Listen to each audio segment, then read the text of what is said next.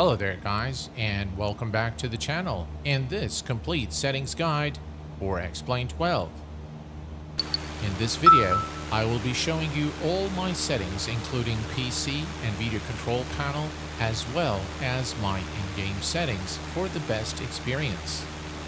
Please note that as of the date of this video, I'm using the NVIDIA driver 546.65 as all the current NVIDIA drivers causes issues and stuttering with X-Plane 12.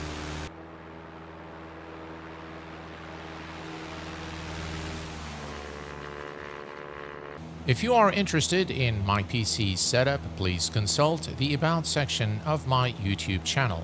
Link is provided to you in the description section of the video. Let's get started.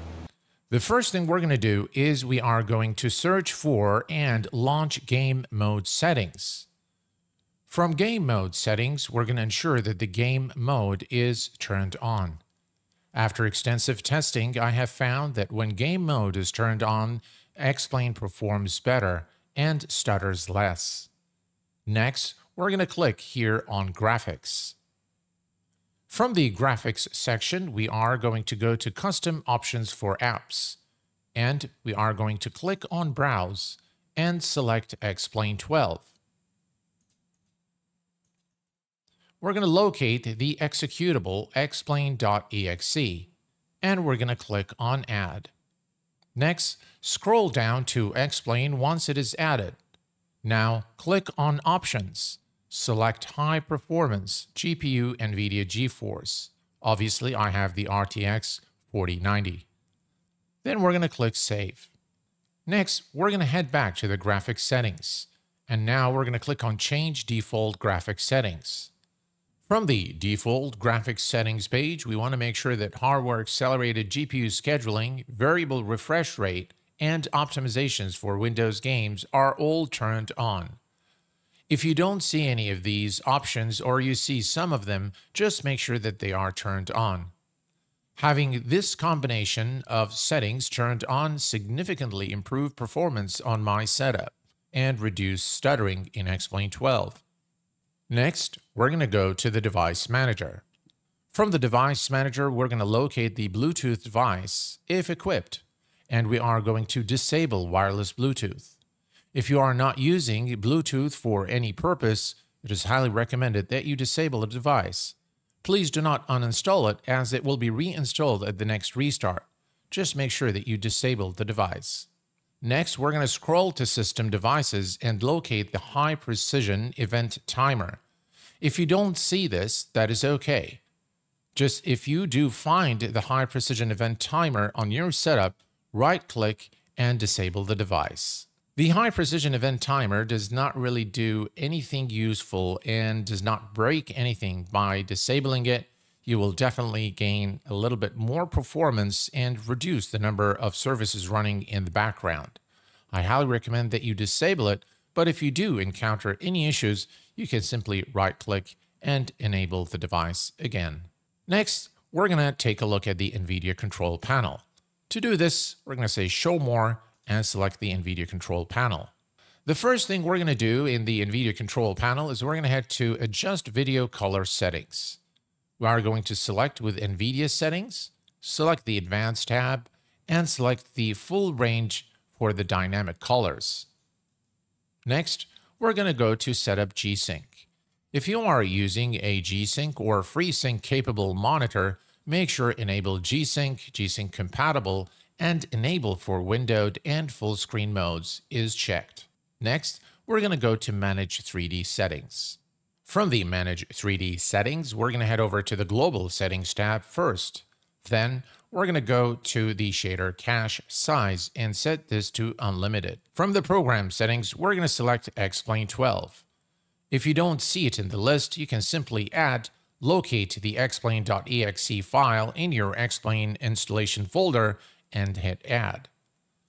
If you are using a G-Sync monitor, I highly recommend that you set the low latency mode to ultra. If you are not using a G-Sync monitor, use on.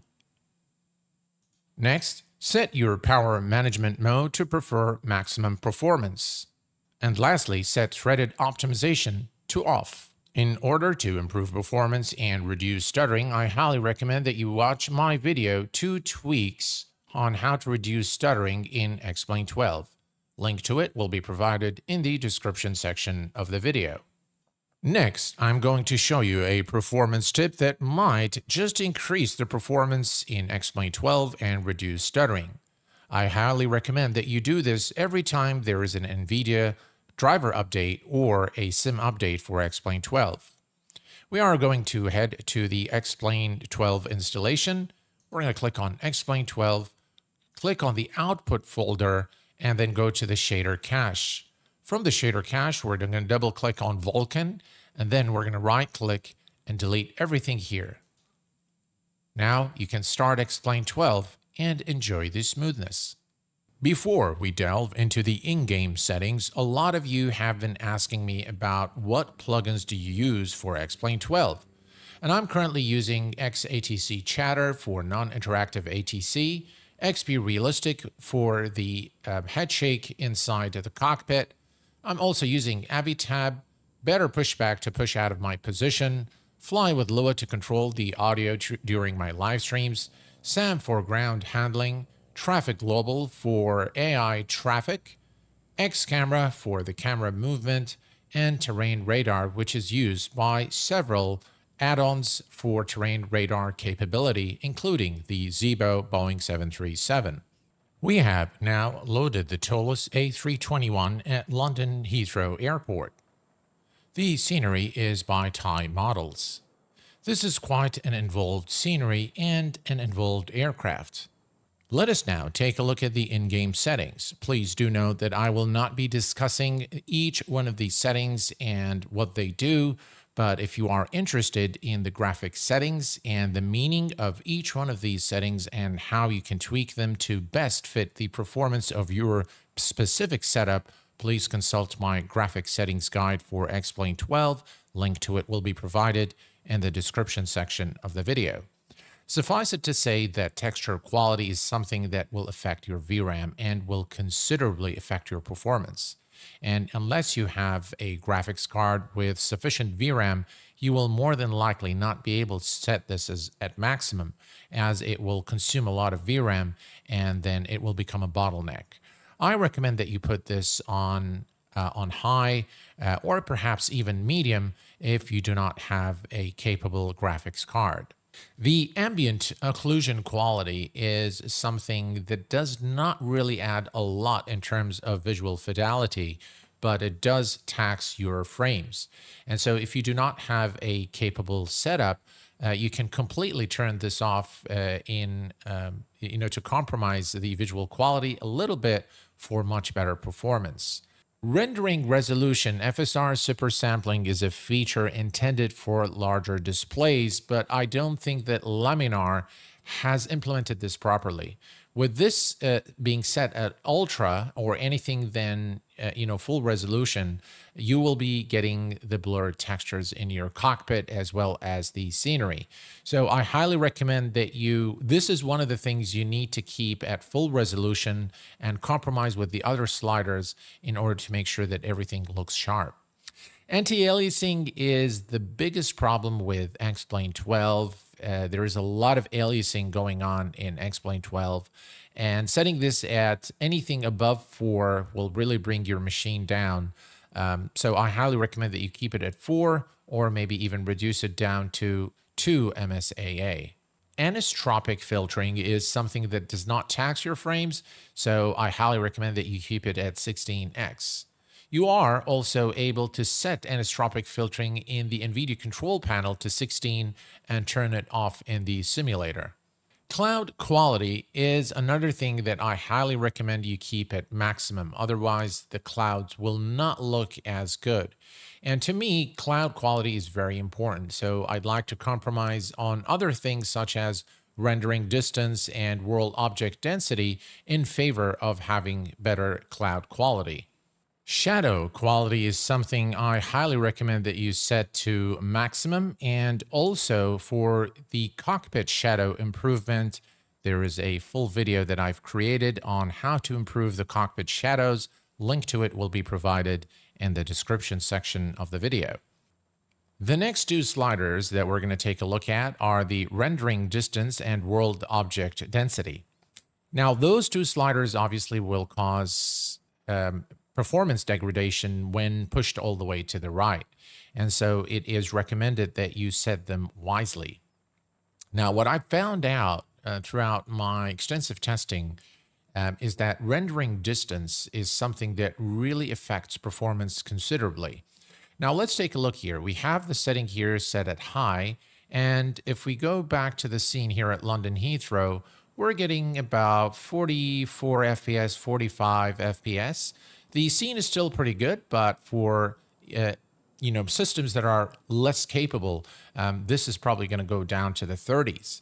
So if you go to the outside view and take a look here at the scene here at London Heathrow, you'll see that, you know, everything, even far in the distance, you can still see the trees. You can see some of the buildings still with the high setting for the rendering distance. I'm going now to change this back to medium, and we're going to click done and take a look at the results. From the visual fidelity perspective, you can see that, yeah, we have lost a little bit of the trees and maybe a little bit of the buildings far in the distance. But in terms of visual fidelity, it's really not affected that much with this setting change. But the performance gain inside the cockpit is quite significant. Can see now that we're back to about 49, 50 FPS or so, which is much, much better.